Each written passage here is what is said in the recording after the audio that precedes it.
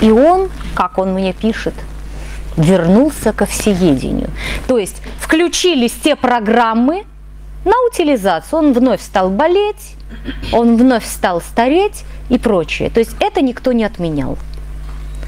Если он вновь вернется, к примеру, на сыроедение и потом облегчит питание до жидкого уровня, потом перейдет на питание света, эти программы временно отключаются.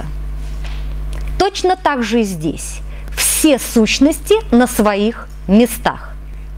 Если у вас повышаются вибрации, они не могут пребывать в вас. Они не выдерживают этого света, и они уходят каким-то э, людям, которые имеют вибрации пониже.